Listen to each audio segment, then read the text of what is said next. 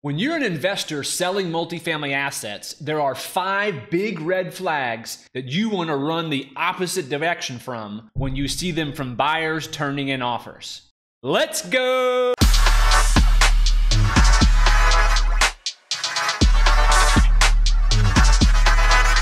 The first red flag to avoid small escrow deposits. First, we should define reasonable escrow deposit. It really depends on the size of the deal, but basically, you want the buyer to be putting down enough of a deposit that it would hurt a lot if they had to walk away from that deposit in comparison to the size of the deal. Any buyer is going to have to put down 20 to 30% equity to buy the asset anyway, so it shouldn't matter to have to put down reasonable deposits. Putting down small deposits means they could be spread too thin on other deals and don't have the money. It could mean they're just trying to get in as cheap as possible to go out and find the equity to actually close on the deal. And it shows they aren't confident enough either in themselves or the deal to actually close on it, and therefore they want as least amount of possible at risk. Number two, excessive due diligence periods. It would be unusual for any one asset to take longer than 30 days to perform physical inspections, the phase one environmental, survey, and title.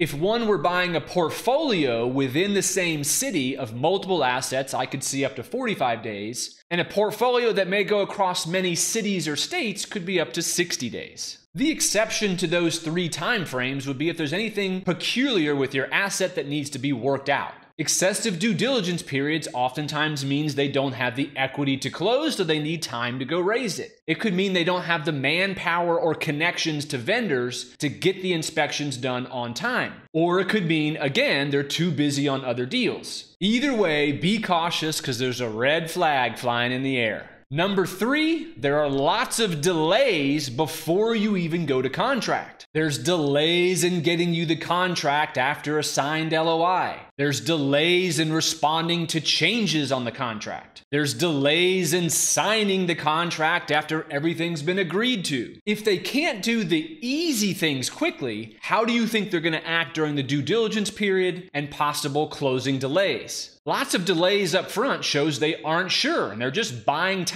which is basically a free due diligence period you didn't agree to. Number four, in a multiple offer situation, if a buyer jumps way too high from their first offer to their second offer, Big red flag. When that happens, that screams to me as a broker that they're just trying to secure the deal at any price so that they can get you far down the line during due diligence and retrade. If you've got a $10 million deal and a buyer turns in a $7.5 million offer, then learns of other offers that have come in and comes up to 9.8 million, that don't make any sense. You want to contract with a buyer who knows they're going to perform at a certain price, not use the entire DD period to figure out how the hell they're going to get to the price they offered. And number five, don't ever contract with a buyer who refuses to tour the asset until after a fully executed PSA is in place. And yes, I've seen buyers do this several times. Typically, what happens is the buyers will underwrite the asset some of them drive by the outside, they submit the letter of intent. Once the deals are narrowed down to the best two or three or four buyers, that's when I suggest to the sellers not to go to contract with any of them until all of them have seen the deal and then turned in their best and final. If one of those best and final offerers can't come see the place or doesn't want to until he's the chosen one, it's just too big of a risk to go to contract with them. As a seller, you'd just be setting yourself up for failure if the buyer goes to the asset after contract and it's not what they thought it was. I hope this video brought you value. If it did, hit the like button down below. And of course, after you've subscribed, hit the notification bell so you can be notified when the next video comes out each week. See you on the next one.